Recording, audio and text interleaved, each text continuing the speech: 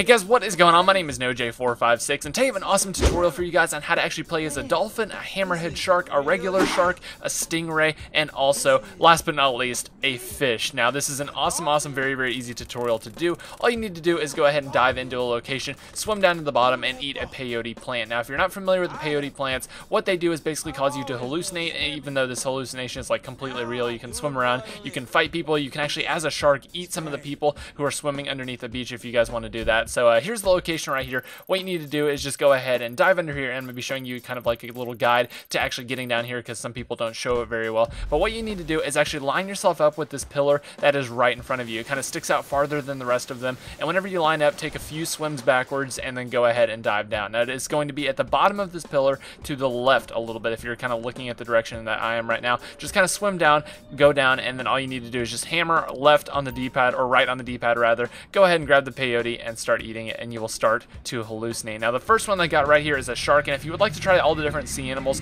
what you need to do is just go ahead and save your game right before this. Turn off auto saving because it will auto save right when you grab it. So go ahead and turn off auto saving, save your game right before you jump down and as you can see, I'm playing as a great white shark. Now the shark, all you can do is just swim around. You can uh, you can swim around and then obviously you have your attack maneuver. Now some of them, uh, they don't have attack maneuvers. They're kind of like passive animals, which would be kind of cool to sting someone as a stingray, but all you can do is just kind of like swim around and then if you want to swim faster you can tap the X button or the A button if you're on the Xbox One and you will actually be able to swim faster. So the Stingray is pretty darn harmless. There's really nothing he can do, but it is very, very cool. And one of these is very, very rare to actually find in GTA 5 whenever you're just kind of going around. So I, I, saw some gameplay of someone actually finding one in the wilderness, but these things are very, very hard to find. So uh, this is this is just kind of like a cool little look at them to be able to see what the Stingrays actually look like in GTA 5 and uh, how they how they actually maneuver and everything like that. So let me know in the comments section down below if you guys have seen this. We actually have two more gameplays to go through right here. So let me go ahead and switch over to the next one here, which is a hammerhead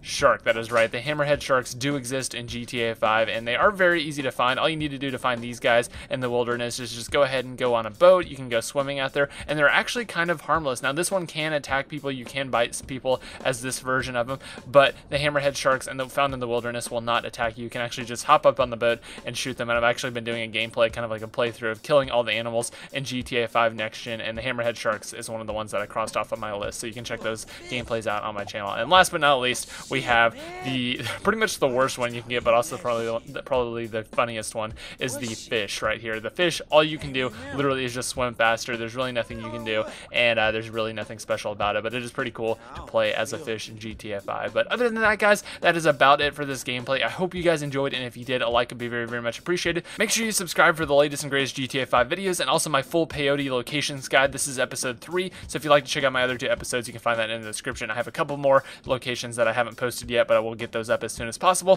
Thank you guys so much for watching. I will see you guys in the next video, and goodbye.